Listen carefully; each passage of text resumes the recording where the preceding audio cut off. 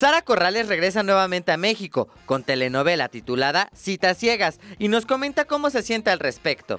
Estoy feliz porque es un proyecto maravilloso. Yo creo que pudieron tener ustedes un pequeño abrebocas de lo que será Citas Ciegas. Y es un personaje, el mío, maravilloso, dentro de una historia mágica, divertida, muy bien hecha. Y no hay nada más bueno para uno como, como actor o como actriz hacer parte de un proyecto que esté tan cuidado y tan bien hecho. También nos explicó el motivo de su ausencia en nuestro país. Sí, me escapé a Colombia unos mesecitos porque tenía trabajo. Estuve haciendo un concurso de cocina que se llama MasterChef Celebrity y fue maravilloso volver a mi país porque ya eran casi siete años los que México me había tenido. Entonces volví a mi país y fue divino, divino volver al canal en el que yo inicié mi carrera, volver a ver como mi gente, mi público.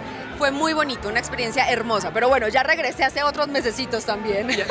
La actriz nos sorprendió al revelarnos que se lanzará como empresaria. Ella misma nos explica los detalles.